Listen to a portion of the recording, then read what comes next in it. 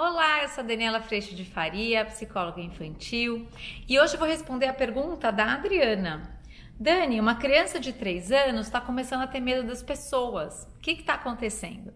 Vamos falar sobre isso?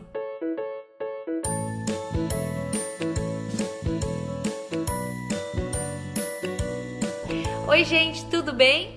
Antes de mais nada, se inscreva aqui no canal, dê alerta neste sino, dê um like se você gostar desse conteúdo, compartilhe. A gente também pode estar junto lá pelo Instagram, vou deixar aqui para vocês o arroba. E também você pode baixar o aplicativo ou acompanhar o podcast nas plataformas de música. Eu também não posso deixar de te convidar para vir para o curso online. São muitas famílias, mais de 500 famílias já passaram pelo curso. É uma experiência fantástica e uma grande família. E esse acolhimento que você está precisando, dessa canseira, desse eu não estou conseguindo.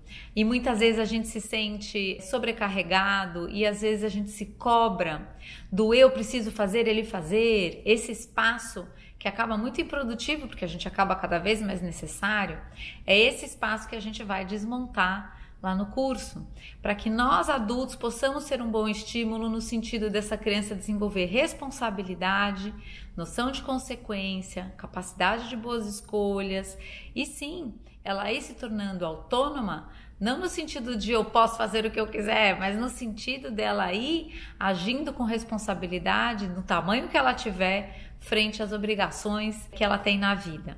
Então, se você quiser vir fazer parte, se você está cansado desse lugar, de eu que faço toda a roda girar, a gente pode nesse um ano e esse tempo ele é necessário para que a gente saia de um piloto automático e a gente comece a agir a partir de um lugar de escolha como pais e como mães. Se você é profissional, existe também um espaço no mesmo curso educaçãoinfantilonline.com para que você possa trabalhar com famílias e crianças a partir dessa perspectiva. Tá bom? Estou te esperando com um abraço bem quentinho, um colo muito gostoso, cheio de gente lá muito especial, que passa pela mesma coisa que eu e você. E quando a gente se encontra na dor, a gente pode encontrar descanso, paz, amor e uma grande sustentação para a gente fazer mudanças na nossa vida. Então, essa pergunta da Adriana, eu acho muito importante a gente olhar esse aspecto, tanto pela perspectiva da expectativa, que pode se transformar em exigência, o quanto os nossos filhos andando por aí diz sobre nós. Se a gente estiver nessa equação, a gente pode ficar muito incomodado com os nossos filhos não cumprimentando as pessoas ou não estando super aberto. Mas eu gostaria de convidar você para olhar essa situação, Adriana, e quem mais passa por isso, pela perspectiva do temperamento. Às vezes a gente tem um temperamento que pode ser um pouco mais extrovertido, um pouco mais espontâneo, de mais baixa análise, e a gente cria a expectativa de que esse é o jeito certo de fazer ou que o outro deveria andar com as pessoas como eu funciono, porque para mim é muito tranquilo. Então, pode acontecer de você ter um filho de um temperamento às vezes mais baixa extroversão, mais introvertido, às vezes mais analítico, é, às vezes mais paciente, ou seja, precisa de mais tempo para as coisas acontecerem. No temperamento de baixa extroversão, que é uma criança mais introvertida, imagina que esse processo de encontrar o novo, pessoas novas, às vezes pode ser muito desconfortável. Então, existem algumas estratégias que a gente pode fazer para flexibilizar isso. Não é que essa criança vai chegar falando, e aí galera, cheguei. Não, não é isso não. Mas é, é importante que a gente flexibilize a ponto dela cumprimentar as pessoas, dela dar bom dia, dela conseguir se comunicar com quem for necessário. Então, aos três aninhos, a gente já pode ver um temperamento acontecendo e é importante que a gente perceba quais são as, as mudanças que a gente pode fazer para que esse temperamento que às vezes está mais introvertido e que precisa de mais tempo para as coisas ganhe flexibilidade, ou seja, se coloque mais para fora. Então, o que não fazer nessa hora? Não forçar, não chegar, por exemplo, às vezes a gente está no carro, né? Isso é bem a gente querendo garantir que o outro vai fazer tudo de um jeito para que eu seja vista como uma boa mãe e um bom pai. Vê se não é. Sabe aquela hora que a gente fica brifando as crianças no carro? Às vezes a gente faz isso, você vai chegar lá, você cumprimenta todas as tias, você cumprimenta todas as. Aí a gente vai criando um espaço de tensão e um espaço que pode levar essa criança a entender que ela deveria ser de outra forma do que é. Ao invés da gente entender que cada oportunidade que ela encontra alguém novo, uma situação nova, ela está tendo a oportunidade de aprender a ir um pouquinho mais para fora. Então, por exemplo, uma das estratégias que a gente pode fazer, eu fiz isso muito com as minhas filhas, principalmente com a mais velha. Por exemplo, toda vez que ela chegava num ambiente que já estava acontecendo muita coisa, ela se retraía. Nesse retraimento, ela precisava de um tempo de observação, porque tem muita paciência, para que ela entendesse toda a lógica do que estava acontecendo numa festinha de aniversário, por exemplo, para que depois de um tempo ela fosse é, brincar. Imagina que uma das estratégias que a gente pode usar é a gente chegar antes. Então eu fui reparando que toda vez que eu chegava antes no aniversário, antes de tudo já tá uau, toda, ela conseguia se ambientar ela conseguia entender o espaço, entender a lógica da coisa.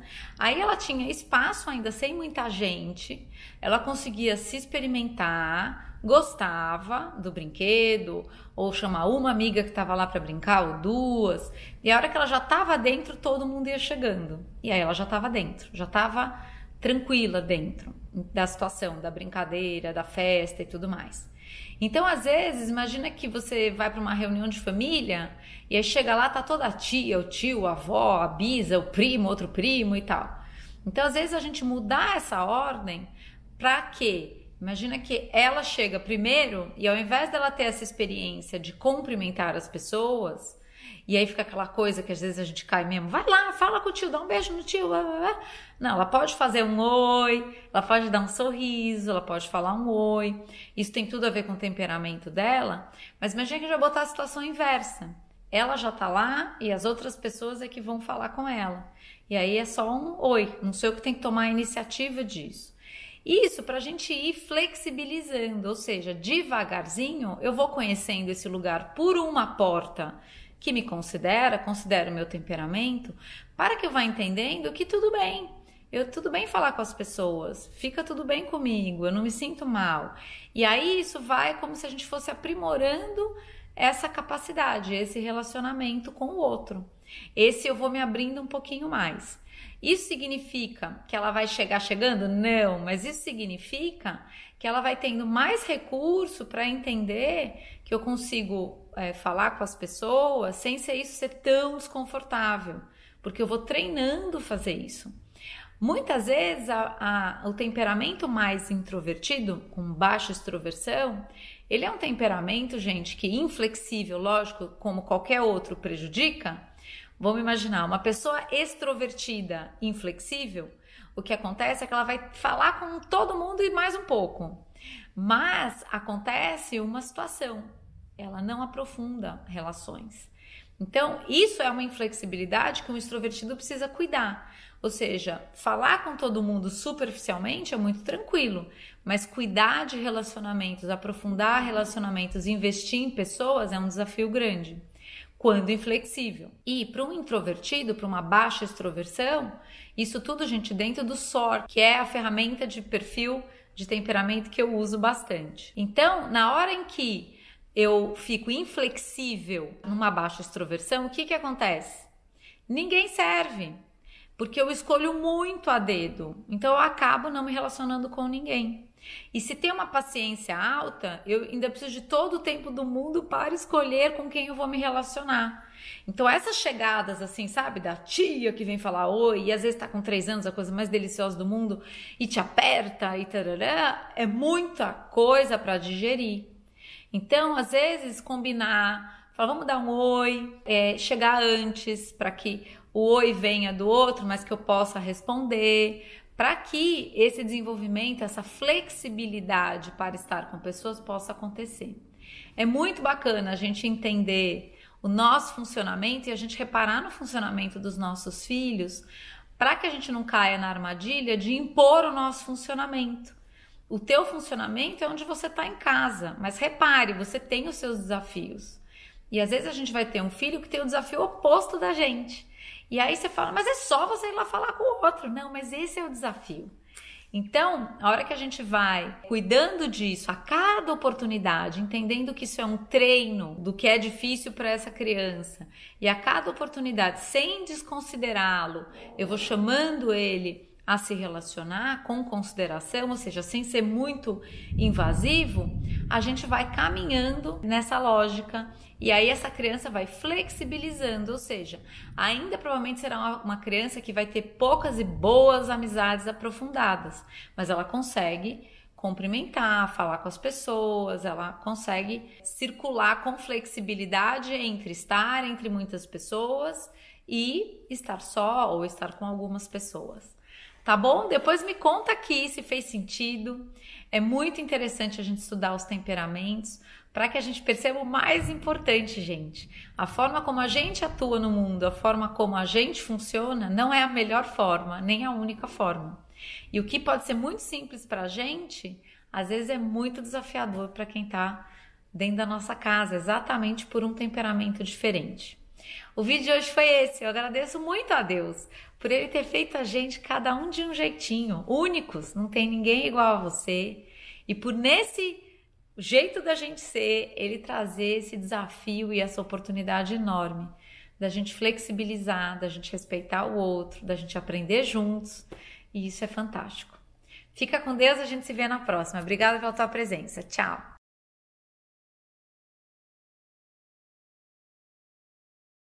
Oi Dani, tudo bem? Tô aqui para falar um pouquinho da minha experiência com o curso Educação Infantil Online. Esse já é o meu segundo ano e eu continuo amando os nossos encontros virtuais que acontecem semanalmente.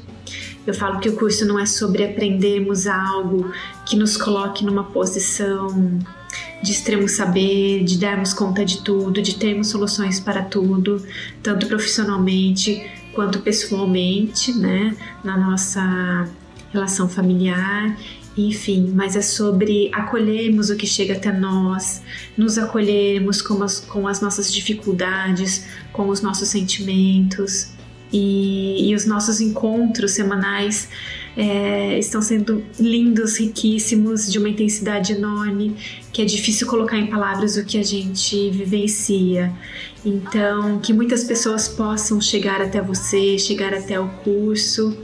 Eu sou só gratidão por você, por tudo que você tem compartilhado conosco, por tanto amor, por tanta humanidade e que possamos estar juntas por muito tempo. Um beijo, Dani.